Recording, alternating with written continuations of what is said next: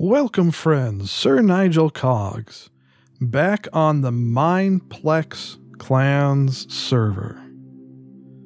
I want to take a moment to thank everyone that responded to my last video with uh, advice and information on how to get the server working again for me, basically, how to connect to the server again.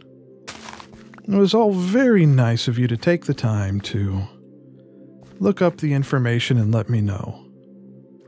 On the advice of someone in the comments section, I built this little dirt cube to do some work in, to build my next project in, just to help keep all of it nice and safe while I'm working. So to begin with, we're going to do a little bit of this here.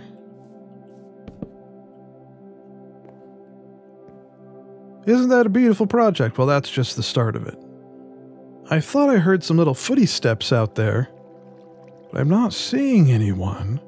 Sometimes I wonder if this strange anti cheat system that Clans uses, in addition to the name tag showing up and sometimes it making little dust clouds from where the feet would be if an actual player was there, I wonder if it makes little footy step sounds too.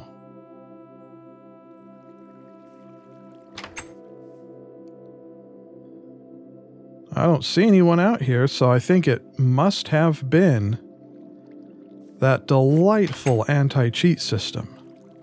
I need to pick up a couple of fence gates. We should probably only need two.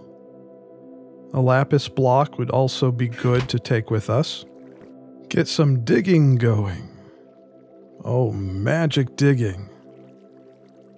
Now, I know that in order to place a fence gate, I've been told you have to place it on a block and then you can break the block beneath it and it'll stay in place. However, we can't place the block here. And even if we could place the fence gate right here, I don't think we'd be able to break the block underneath it from above. So I think maybe what we'll need to do is head over one block like this and then do one of those is what I'm thinking. Then we can open this and take where the cobble go, take the cobble and replace replace these blocks here. And hopefully that should do the trick that I have in mind. This is a pretty fair bit down, so I think we will place the block of lapis, lapis. Put it right about here. That should be good. Now, if I understand the way this works correctly, and we're about to find out if I understand it correctly, once you're in water like this, where you're moving around, you shouldn't be able to use your home command. So let's find out.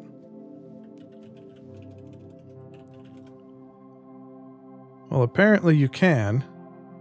So it looks like you can teleport out of there. So, what we'll probably have to do, I suppose, is work up something like this to keep the water moving, I suppose, so that you can't use your teleport command because you keep moving. But that's certainly a start. Now, I need another block of lapis. Let's see how far down we can place it. Can we place it? How about this? Whoa, okay. That's not what I meant.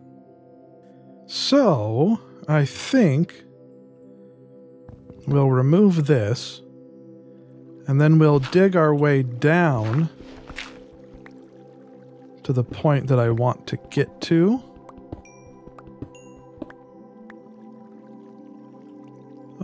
Um, almost. A little bit farther.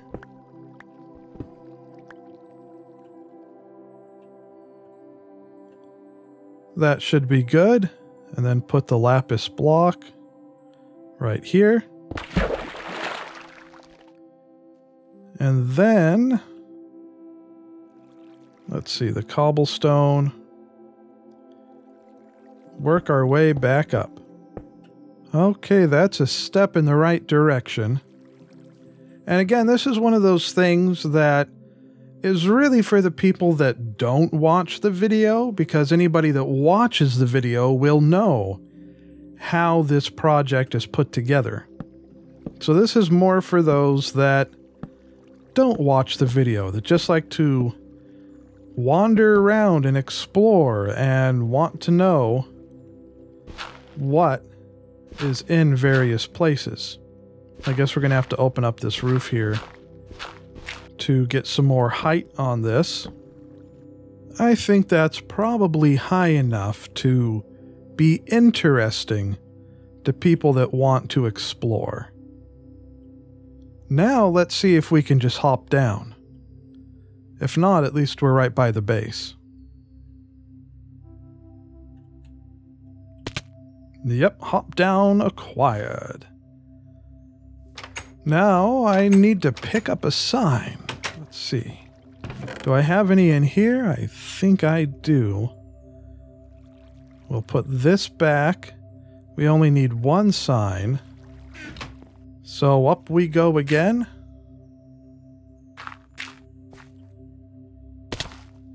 That's not what I had in mind.